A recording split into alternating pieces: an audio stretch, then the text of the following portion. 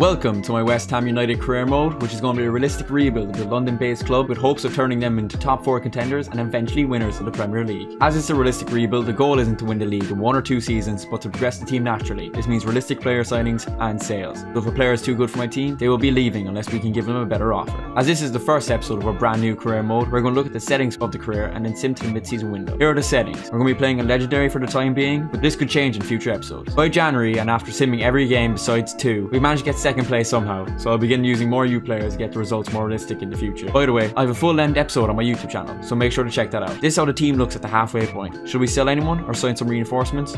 Let me know in the comments below.